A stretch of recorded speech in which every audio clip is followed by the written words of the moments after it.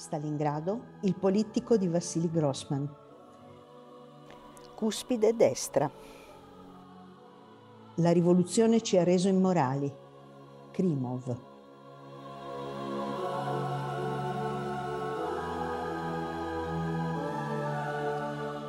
È una sera d'autunno. È ottobre. È il 1942 e il luogo è Aktuba il braccio principale del Volga sulla riva sinistra. Krimov sta per imbarcarsi e andare a Stalingrado, sulla riva destra. La città da metà settembre, da un mese ormai, è in mano tedesca. Krimov sente che sta per diventare testimone di fatti terribili e inauditi. Gli torna in mente qualche verso dell'Odissea.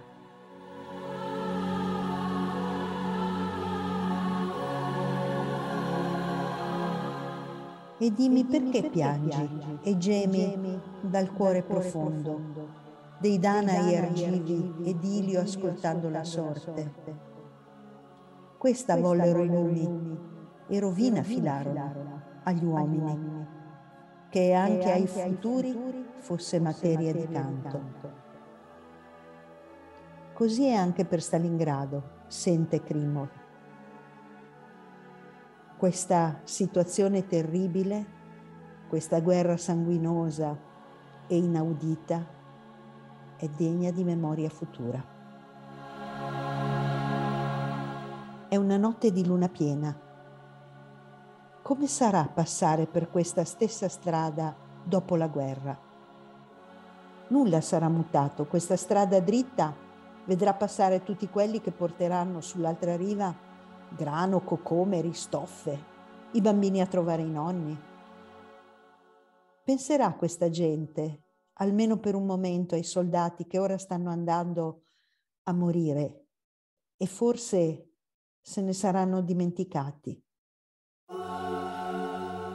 Ma senza ricordare il perché, si sentiranno gelare il cuore guardando questi arbusti sul ciglio della strada.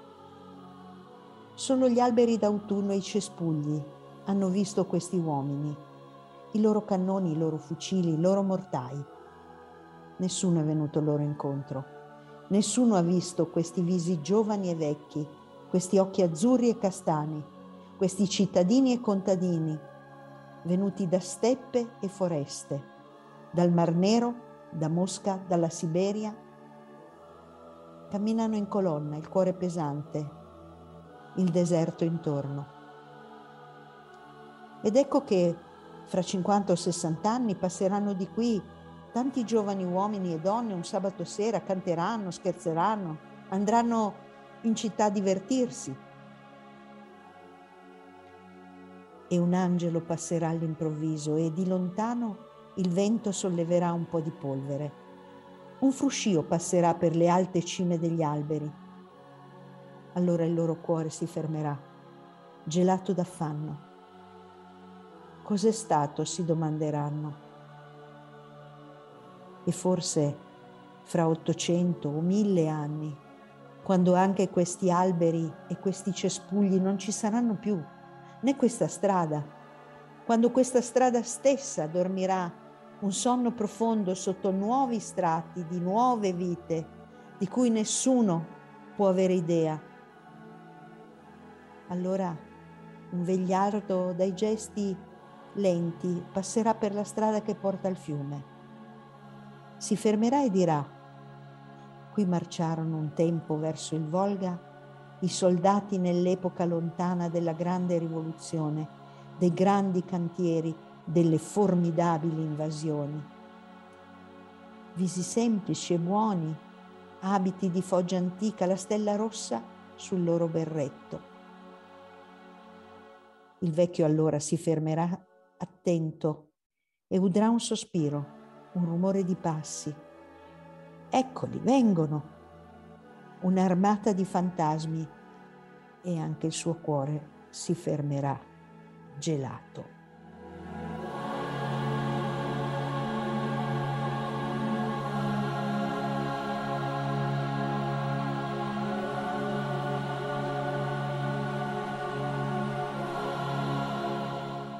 La sventura della guerra che Krimov affronta in questo lugubre momento. Lo domina il timore che di queste sofferenze si perderà il ricordo. La sua mente fugge allora verso il futuro ed ecco che in un'età lontana un vegliardo, assomiglia a Omero, saprà ascoltare questi luoghi carichi di memorie. Gli dei questo hanno voluto, che le tremende sofferenze dell'oggi siano memoria dell'umanità futura. E tuttavia il senso della tragedia universale che Krimov sente profondamente e vive ha sempre nella sua coscienza un significato che universale non è, anzi è particolare, è parziale, è partigiano. L'amore di Krimov per la patria invasa e calpestata è amore per la giovane Repubblica Sovietica. È amore cioè per la società nuova a cui ha consacrato la propria vita di rivoluzionario.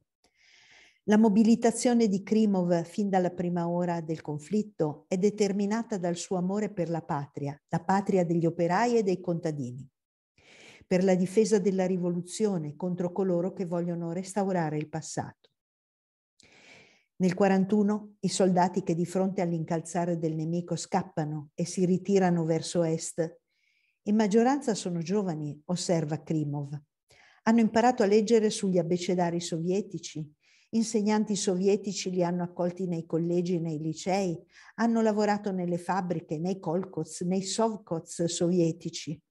Hanno letto libri sovietici, hanno passato le loro vacanze nelle case di riposo sovietiche.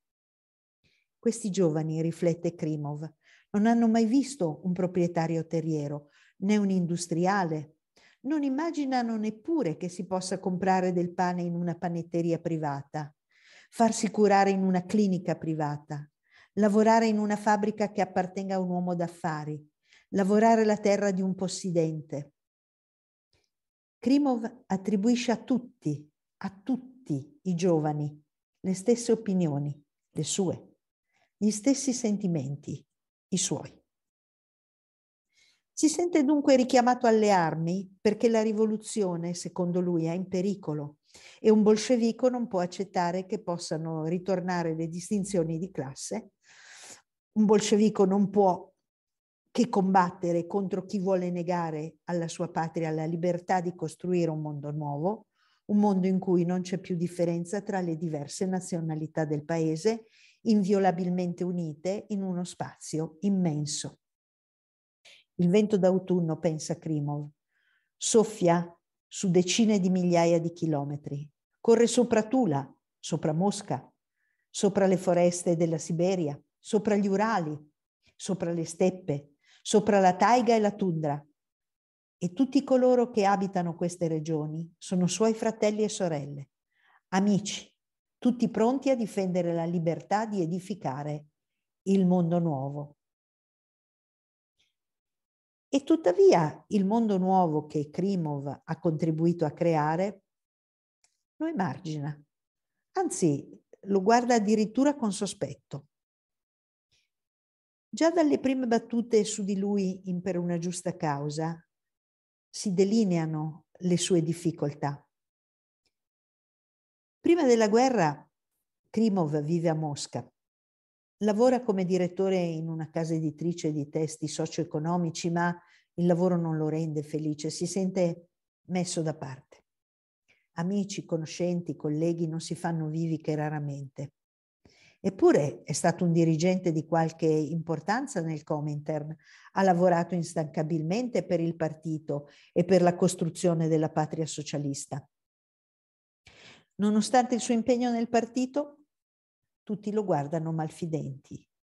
In vita e destino, nello stretto entourage di Getmanov, l'uomo di partito ucraino, la cui denuncia è all'origine dell'arresto di Krimov, lo ricordano come deviazionista e in contatto con i troschisti e l'opposizione di destra, dicono. Anche Eugenia, sua moglie, lo ha lasciato un giorno di dicembre 1940 ha fatto la valigia ed è tornata da sua madre a Stalingrado. Perché Genia lascia Nikolai Grigorievich? Certo, i suoi motivi non sono quelli che pensano alcuni dei loro amici e conoscenti, e cioè che Genia abbia agito prudentemente data la situazione ormai precaria di lui o che abbia un amante come pensano altri. In realtà Genia stessa fornisce ai suoi spiegazioni confuse. Perché lo lascia? E perché decide di tornare da lui quando apprende che è stato arrestato e chiuso alla Lubianca? La risposta è nel dipanarsi della lunga vicenda di Krimov. Un uomo coraggioso generoso, ma prigioniero di una fede che lo rende a volte crudele, a volte vile verso gli altri. È la fede che gli impedisce di comprendere quanto sta accadendo. È Stalingrado che lo obbliga a ripensare le sue esperienze di rivoluzionario e uomo politico, in un percorso doloroso di riflessioni senza pietà.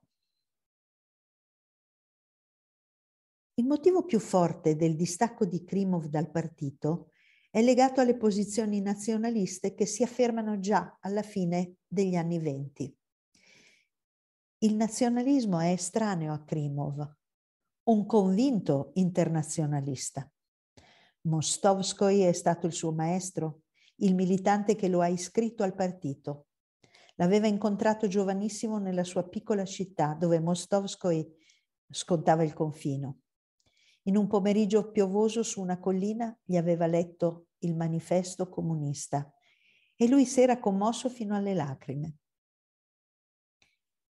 Le letture della formazione di Krimov attingono copiosamente al pensiero democratico europeo del XIX secolo gli è estraneo il pensiero di coloro che teorizzano la superiorità degli intellettuali russi.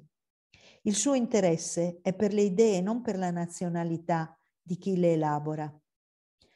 Come Mostovskoi e Shaposhnikov, apprezza Dobrolyubov per la concezione etico-sociale della letteratura e mette sullo stesso piano Lassalle, che è tedesco, per i suoi rapporti con Marx, e le sue posizioni socialiste. Marx per lui è superiore a qualunque genio russo e considera l'eroica di Beethoven un capolavoro sublime. Forse è Nekrasov che denuncia la sofferenza del popolo, delle donne, dei contadini, a suo giudizio è il poeta russo più grande di tutti. Proprio la sua formazione è all'origine dell'internazionalismo di Krimov, che come ogni comunista della sua generazione parla diverse lingue e spera nella rivoluzione mondiale. È sgomento di fronte al disprezzo e all'arroganza tedesca nutrita di pregiudizio razziale. Per lui è, impo- è impossibile confondere i nazisti col popolo tedesco, che non può essere fascista tutto in blocco. Durante la ritirata dal Don incontra il capitano Bolokhin, che lo riconosce come uno dei relatori del corso superiore sul movimento sindacale. L'intervento di Krimov, ricorda il capitano Bolokhin, aveva come titolo La pace di Versailles e la classe operaia tedesca. Era il 1931. Detto fra noi, dice il capitano, lei affermò quella volta, cifre alla mano, che non c'era fascismo in Germania e ride. Anche a Stalingrado, nei giorni più duri dell'autunno 42, quando Krimov si trova nel rifugio di Batyuk sotto Mamayev Kurgan, è presente durante una riunione con i tiratori scelti che stanno rendendo la vita difficile ai tedeschi. Krimov ascolta con attenzione i loro discorsi e vorrebbe intervenire per ricordare loro che tra i tedeschi potrebbero esserci contadini, operai, membri dell'internazionale. E tuttavia tace perché si rende conto che questa sua convinzione profonda gli pare, inspiegabilmente, inattuale, benché lui non sappia rinunciarci. Già in questi due Già in questi due luoghi del testo, in Per una giusta causa, in Vita e Destino, si disegna la cifra di questo personaggio, sensibile al sentimento di giustizia sociale. Egli pensa che la rivoluzione dei soviet possa realizzare l'aspirazione alla giustizia sociale, ma il suo pensiero dogmatico spesso lo trae in inganno. Guarda alla storia, alla società, alla politica attraverso una lente rigida che via via lo sprofonda in un universo di contraddizioni. Krimov è un uomo intelligente, si rende conto che i suoi valori più profondi sono sempre meno condivisi col suo partito. Ma per lui spiegarsi il perché è faticoso e quasi impossibile. Sarà l'esperienza di Stalingrado a maturare in lui una coscienza nuova. Attraversato il Volga, Krimov va subito a rapporto da Rodimchev, il generale che comanda l'azione delle truppe sovietiche sulla riva destra. Ed ecco che il nemico attacca. È uno scontro fisico all'arma bianca. Per quella volta il nemico è infine respinto. Krimov si appisola stremato. Il suo dormiveglia è accompagnato dal suono di un violino. Il motivetto, semplice come un ruscello, scandisce il fluire del tempo e Krimov avverte che il suo pensiero è immobile, mentre intorno tutto scorre. Egli si sente sempre più fuori tempo, anzi un uomo dal tempo scaduto. Ben diverso era il suo sentimento allo scoppio della guerra, nel giugno 41. Nel giugno 41 Krimov è ancora il combattente che sente imperioso il dovere di farsi mandare al fronte. Il comitato centrale del partito accoglie la sua richiesta, ma diffida di lui, non gli assegna mai alcun incarico importante e più volte lo richiama dalla prima linea nelle retrovie. Quando arriva in Ucraina nel 41 a testimonianza del sospetto che lo accompagna, Krimov è invitato in Bielorussia con l'incarico di fare formazione politica in una delle due armate del fianco destro. Krimov vi rimane inattivo 15 giorni. Quando giunge finalmente a Kiev, ormai è il panico della ritirata. L'armata rossa fugge per non essere accerchiata. È una fuga per foreste, burroni, campi, qualche villaggio. Krimov si mette alla testa senza volerlo, per caso, di un gruppo di soldati dispersi, ormai accerchiati dai tedeschi. Non vogliono arrendersi. Sono settimane drammatiche di fuga, ma il bolscevico Krimov le vive con euforia. Si sente tornato ai giorni gloriosi della rivoluzione. Il gruppo di soldati raccoglitici lo sente come leader non perché sia un militare, benché si dimostri un buon combattente, non perché abbia un grado, ma per la sua forza morale. Grazie al suo coraggio, coraggio generoso, riesce a portare i suoi 200 compagni e le loro armi fuori dall'accerchiamento a nord di Briansk, dove incontra il generale Yeremenko, a cui presenta un rapporto dettagliato sui carri di Guderian, al suo arrivo a Mosca però Krimov è subito convocato negli uffici della polizia segreta, sempre sospettosa che i soldati sfuggiti all'accerchiamento in realtà siano spie e sospettosa in particolare di Krimov. Una seconda volta è richiamato nelle retrovie nonostante la sua condotta militare sempre valorosa. L'episodio è narrato in Per una giusta causa, quando i blindati tedeschi terra, attaccano via terra Stalingrado, nel giorno stesso del bombardamento, Krimov si trova in prima linea con la brigata anticarro di Sarkisian, nella periferia nord-est della città, vicino alla fabbrica trattori.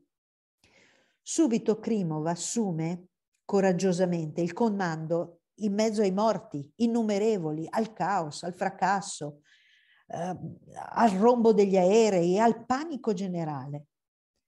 Riesce, non sa nemmeno lui come, a coordinare le azioni di difesa, ristabilendo il contatto tra le batterie, tra gli artiglieri e gli organizzatori, tra lo Stato Maggiore e le unità, tra la brigata e gli addetti alla contraerea, i volontari e il comando del fronte. Gli uomini si fidano di lui perché, commenta il narratore, i suoi ordini mirano a creare quei legami umani, quella solidarietà umana così importanti e indispensabili in combattimento e senza i quali la vittoria è impensabile. Gli uomini dunque si fidano di Krimov, ma il suo partito no.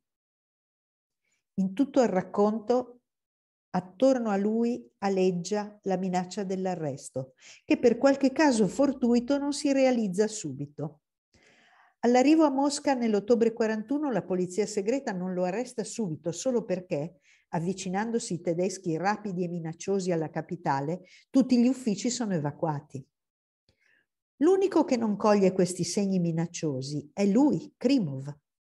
A Stalingrado, mentre già si prepara il suo arresto, che infatti avviene qualche giorno dopo, Krimov è convinto di essere invitato come oratore ufficiale alla cerimonia per l'anniversario della rivoluzione.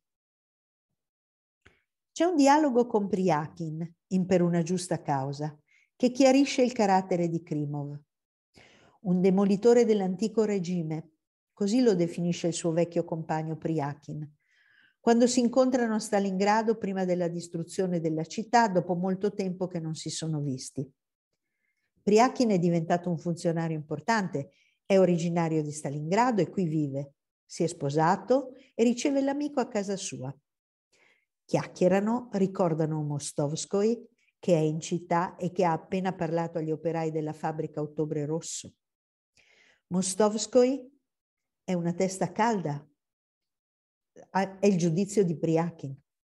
È il passato che Krimov mitizza e Priakin considera passato, benemerito certo, ma passato. La rivoluzione ha camminato e Stalingrado lo testimonia. In un luogo paludoso e selvaggio in pochi anni è stata costruita una grande città. E ora l'enorme sforzo, l'impegno costante, il lavoro indicibile di tanti rischiano di essere vanificati. Priakin è un uomo dell'apparato ed esalta il lavoro compiuto sotto la direzione del partito. Krimov dal canto suo trova l'amico molto mutato. Lo ricorda giovane rivoluzionario e lo vede ora funzionario di partito dal percorso brillante, un costruttore. Dice Priakin, gli uomini si evolvono, cambiano, cosa c'è di sorprendente in questo? Ma tu sai, ti ho riconosciuto subito, tu sei esattamente come quando ti ho conosciuto.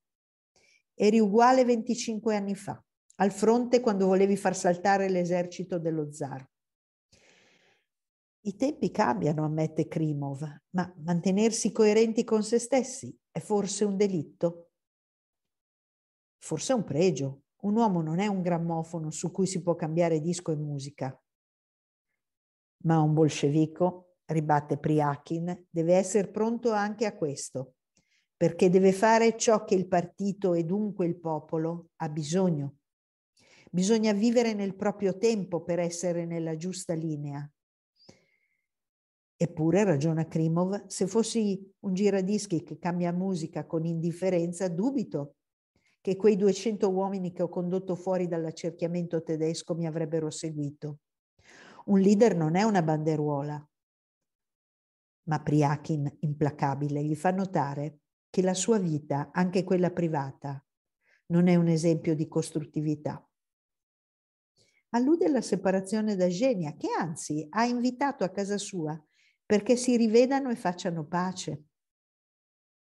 Genia viene all'appuntamento, ma Klimov rifiuta di vederla. È un dialogo importante questo con Priakin, perché illumina la figura di Krimov prima dell'esperienza di, eh, eh di Stalingrado occupata. Uomo di partito non ne coglie il mutamento, esamina se stesso, pensa alle proprie azioni, ne misura il valore e non sa spiegarsi perché il partito non lo stimi e lo abbia emarginato. Questo prima dell'esperienza di Stalingrado. D'altra parte anche i giudizi di Krimov sui funzionari di partito sono taglienti. La loro vita privilegiata è per Krimov motivo di scandalo, specie a Stalingrado. Per celebrare l'anniversario della rivoluzione nel novembre 42, in un sobborgo di Stalingrado confluiscono in auto tutti i funzionari di grado più elevato della regione. Ben nutriti in auto, percorrono la stessa strada dei blindati e dell'artiglieria nella steppa livida. Sul Volga scendono lastroni di ghiaccio che trascinano via un lembo di cappotto militare, uno stivale di feltro, una carabina, il cadavere di un marinaio. Su una chiatta di ferro, sferzati dal vento di Astrakhan, i soldati diretti al fronte stanno seduti l'uno contro l'altro, gelati.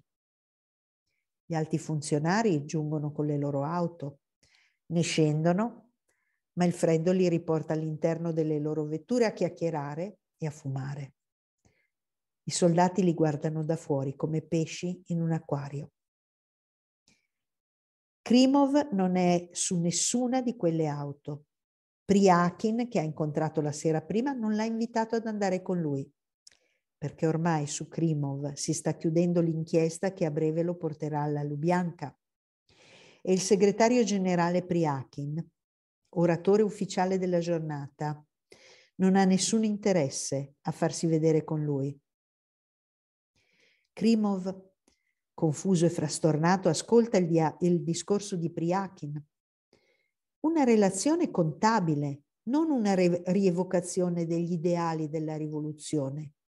Un monotono elenco delle decorazioni al valor militare distribuite, non un elogio dell'eroismo popolare in una battaglia epica che lega oggi Stalingrado ai giorni dell'ottobre. A Krimov le parole di Priakin un vecchio compagno di lotta, ora primo segretario regionale, suonano fredde ed estranee.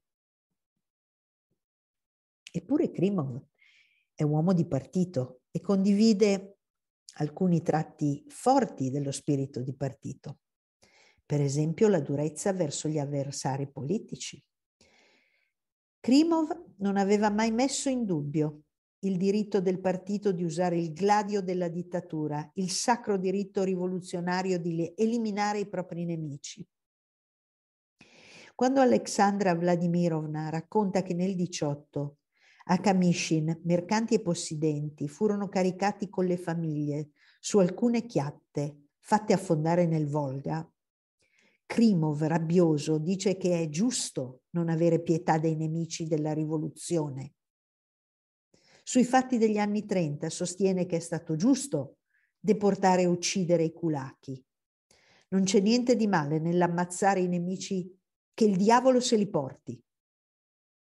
E ai tempi di Ejov, il potente capo dell'NKVD, negli anni delle purghe saliniane dice in prigione finisce chi se lo merita e non sa che quello sarà il suo destino messo di fronte a fatti incontrovertibili di aggressione del partito, non verso i nemici, ma verso i propri uomini, giustifica l'accaduto come l'errore che può capitare. Ma a Stalingrado, sulla riva destra, è il generale Batiuk che gli racconta i primi giorni di guerra e gli racconta che mentre cercava di or- riorganizzare i suoi uomini per difendersi e, e contrattaccare, si è imbattuto nel comando supremo che si stava ritirando. Lo scambiano per un disertore e lo mettono al muro. È salvo all'ultimo, all'ultimo minuto, grazie ai suoi soldati che sopraggiungono. Ma da quel giorno il suo cuore non è più stato sano. E Krimov commenta. Anche nel 37 è capitato di sparare a dei compagni. Sono queste le vere disgrazie. La durezza di Krimov verso gli avversari politici, la sua indifferenza al loro dolore, è all'origine della decisione di Genia di lasciarlo, sciogliendo i suoi legami affettivi con lui. Un uomo crudele, ottuso, inflessibile, fanatico. E tuttavia Genia sa che Krimov non è così granitico, il suo mondo emotivo non è piattamente omogeneo. Si aprono crepe via via più numerose e profonde. E sono proprio queste faglie a legare Genia al destino di suo marito. Lo zenith delle contraddizioni di Krimov è nell'episodio del 6-1. Lì si manifesta il suo animo spezzato. Intanto bisogna notare che Krimov è mandato al 6-1 solo perché non è possibile mandarci un altro. Avrebbe dovuto andare un commissario del reggimento fucilieri, ma la polmonite di Berioskin lo blocca il comando del reggimento stesso. È così che il commissario di divisione invia Krimov in missione per ripartare in quel gruppo un sano ordine bolscevico. È avvezzo a trattare con certa gente, chiede il commissario, e Krimov scoppia a ridere. Sì, signore, nell'estate del 41 ho liberato 200 persone da un assedio in Ucraina e anche là c'era qualcuno che voleva fare di testa propria è segno della doppiezza di Krimov questo giudizio sui suoi compagni di fuga dall'assedio tedesco. Con loro ha avuto un forte rapporto di solidarietà ed uguaglianza e ora li rievoca come delle teste calde da raddrizzare. Si direbbe un discorso studiato per piacere al suo interlocutore del momento, il commissario di divisione, da cui vuole essere stimato. A 6-1 c'è il gruppo di Grekov, un soldato che con pochi uomini tiene testa ostinatamente e valorosamente ai tedeschi nella città ormai occupata. Sono asserragliati in una casa al numero civico 6-1, nella zona della fabbrica trattori.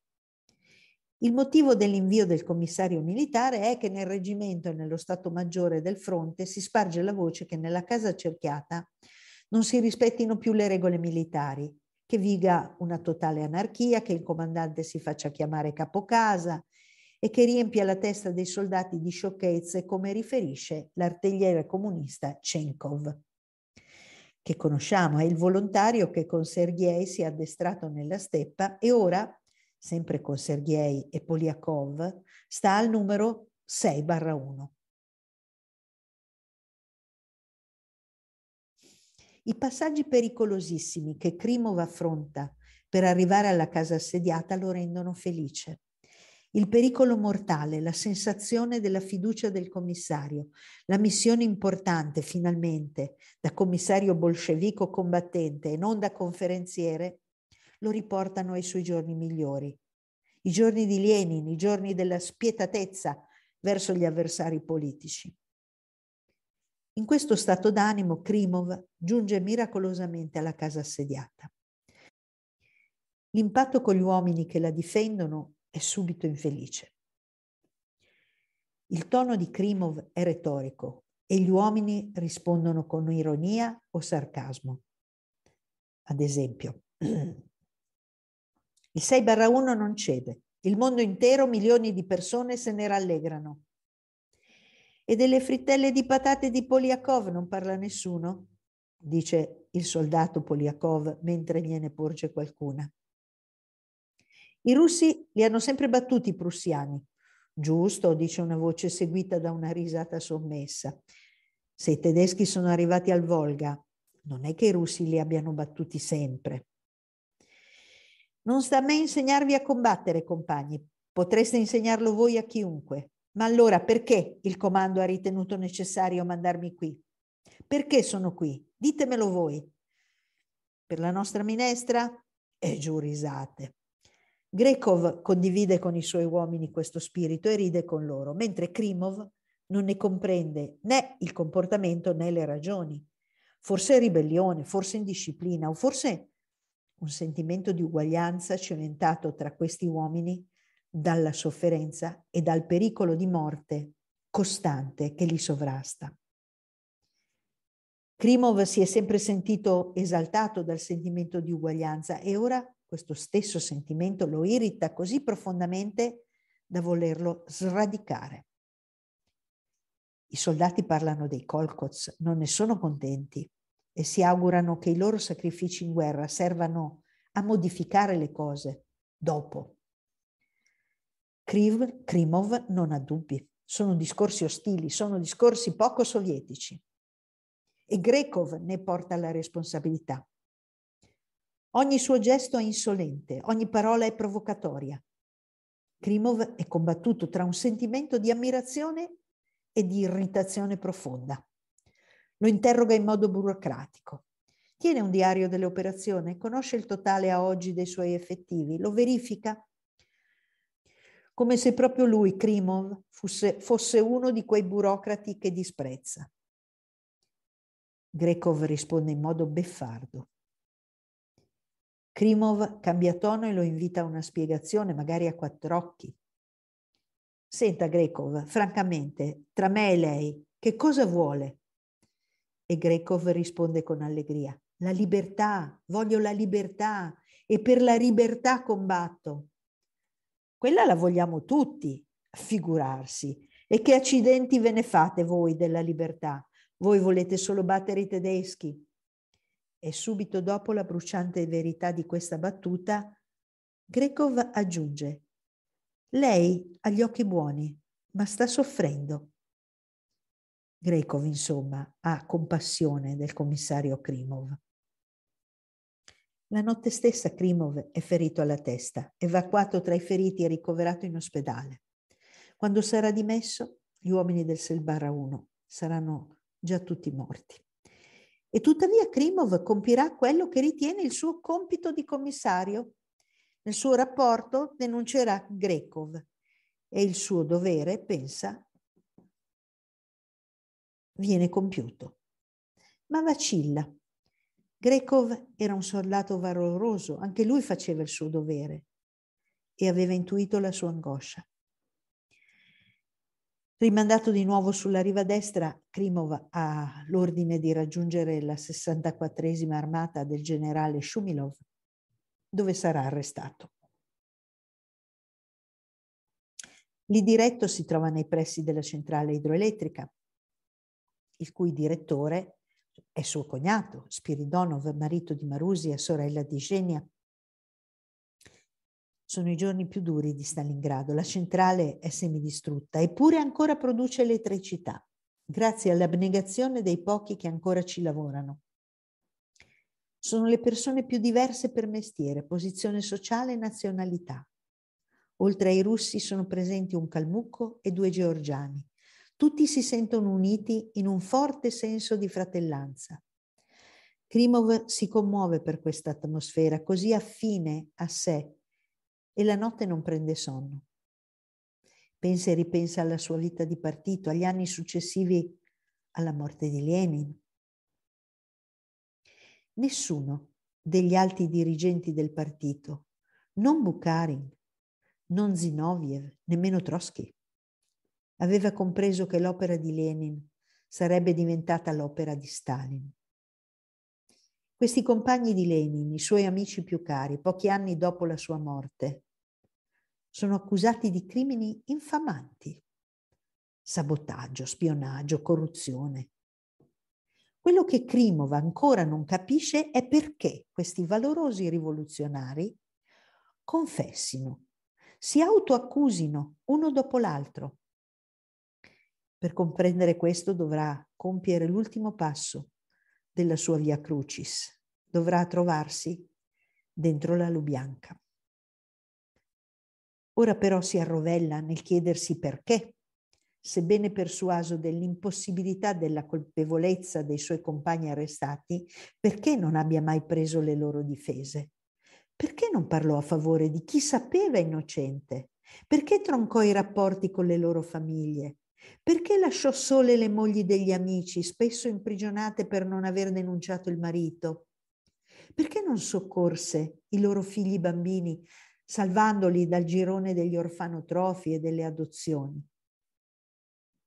E finalmente, nel fondo della sua coscienza orgogliosa, Krimov si domanda se per caso non siano state più coraggiose di lui, non si siano comportate in modo più dignitoso di lui, quelle donnette inermi e magari ignoranti che hanno cercato in qualche modo di alleviare la sofferenza dei condannati mandando loro un pacco e adottando i loro bambini.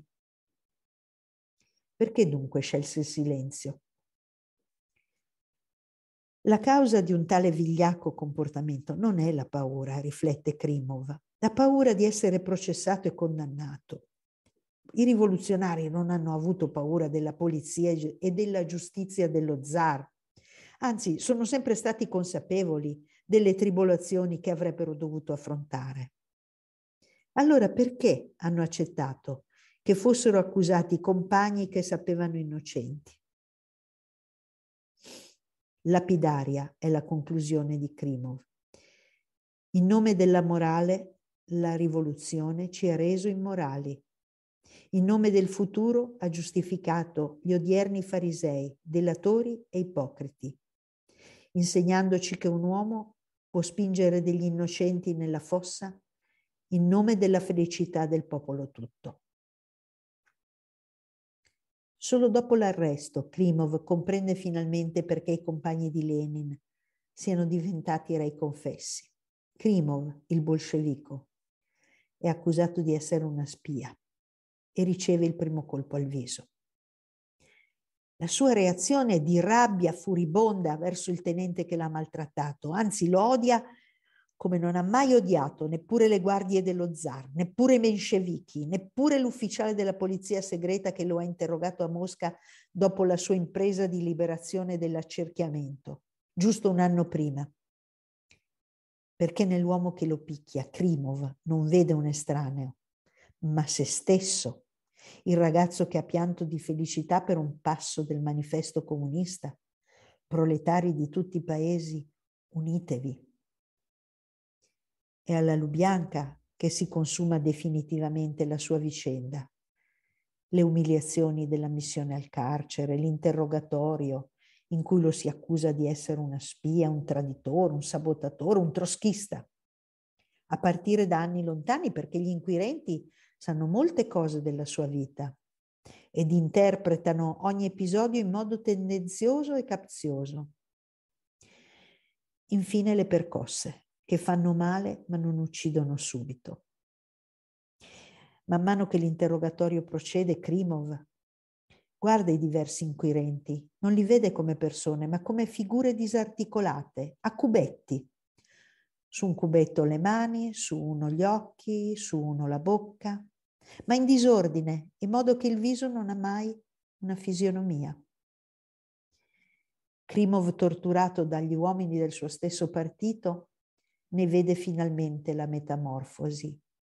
Gli uomini che lo interrogano e lo picchiano sono i nuovi funzionari che hanno sostituito quelli eliminati nelle purghe culminate nel 1937. Krimov li osserva e sente che sono diversi, leggono libri diversi e comunque leggono diversamente. Amano e apprezzano le comodità della vita, i privilegi che consentono loro una vita materialmente migliore. Non sono certo tipi che si sacrificano per un ideale non conoscono le lingue straniere e parlano male anche il russo. Quelli intelligenti, che pure ci sono, non si, non si distinguono per brillantezza di idee, ma per astuzia meschina.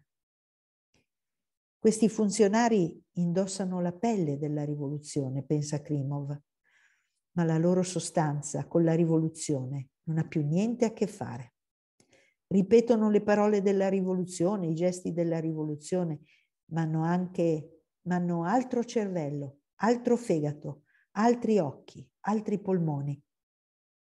Il corpo della rivoluzione proletaria è stato scuoiato, proprio per ricavarne la pelle, mentre la carne viva e le viscere fumanti sono state buttate via nella spazzatura.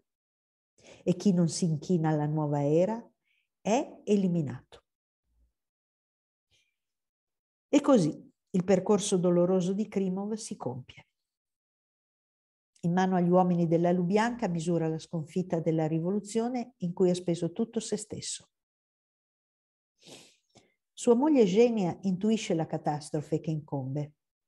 A Novikov, che l'ama da anni e che sogna di sposarla, dice con chiarezza che se a Krimov capitasse qualcosa di brutto, se lo arrestassero, lo imprigionassero, lei tornerebbe subito da lui.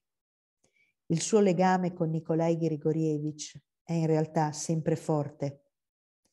Dopo che se n'è andata gli scrive ogni paio di mesi e gli parla dei suoi progetti, del suo lavoro, degli amici che incontra. Lettere calme e amichevoli. Nicolai le aspetta quelle lettere e ne soffre. Vorrebbe scacciarla dalla mente, ma pensa sempre a lei, in tutti i momenti drammatici della guerra, dalla ritirata verso Mosca alla battaglia di Stalingrado. Anche Genia pensa continuamente a suo marito e la più strana delle occasioni le dà modo di capirlo meglio. A Kuibyshev, dove è sfollata, Genia incontra il principe Sharogorodsky, suo vicino della stanza accanto nell'appartamento comunitario dove abitano. Conversano spesso di letteratura e musica e arte. A Genia dispiace che il principe non consideri importanti o addirittura disprezzi proprio gli autori che hanno fatto grande la letteratura russa nell'Ottocento. Gli autori che Krimov e anche lei ama e senza i quali la Russia non sarebbe la Russia. Semplicemente il principe ama un'altra Russia. Adora le fiabe come, quelle, come quella di Finist, Fulgido Falco. Giudica divino il dubbio di Mikhail Glinka, il compositore. Ammira Fett, il poeta, che a suo giudizio vale di più di Pushkin.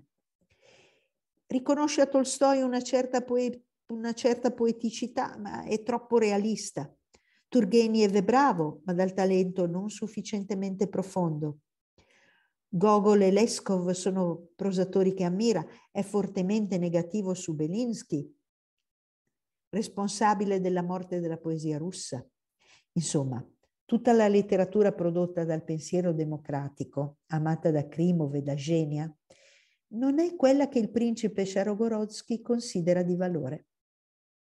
Proprio queste conversazioni col principe chiariscono a Genia molto del mondo emotivo di suo marito e suo. In certi momenti Eugenia Nikolaevna aveva l'impressione che Sharogorodsky la stesse aiutando a capire non solo Krimov, ma anche ciò che sarebbe stato del loro rapporto. Conversando col vecchio principe, Eugenia ritrova l'animo sensibile di Nicolai, seppellito sotto l'approvazione della condotta criminale del partito verso gli avversari politici Genia sa che le parole crudeli e fanatiche di suo marito sono superficie. Sono parole volgari, ma retoriche, che non esprimono il suo mondo interiore. Per questo durezza, ostinatezza, arroganza non le impediscono di volergli bene. Ma proprio Zeni ironia della sorte contribuisce alla rovina di Krimov. Quando a cui Bishev incontra Novikov gli confida un segreto per fargli capire quanto sia legata al marito e quanto grande sia il valore eh, di lui, gli dice che Trotsky in persona aveva elogiato un articolo di Krimov scritto nel marmo, aveva detto. È cosciente che si tratta di una grave imprudenza, ma ormai ha parlato. Novikov a sua volta, durante uno scontro verbale con Getmanov, l'uomo di partito messo nella sua divisione di carristi per controllarlo, si lascia sfuggire la notizia. Getmanov fa il resto. Già da tempo andava costruendo un dossier su Krimov e Novikov gli fornisce un elemento importante. Non l'unico, ma quello decisivo, quello che porta Krimov dritto alla Lubianka. Durante l'interrogatorio, tra le altre cose, a Krimov sono contestate proprio quelle parole di Trotsky. Poiché solo Genia ne era al corrente, Krimov rimane fulminato dalla certezza che sua moglie lo abbia denunciato e nello stesso tempo è assolutamente sicuro che non è vero. Accade a Nicolai di provare lo stesso sentimento di Genia. Non importa niente quello che è accaduto, la verità vera è il suo amore per lei.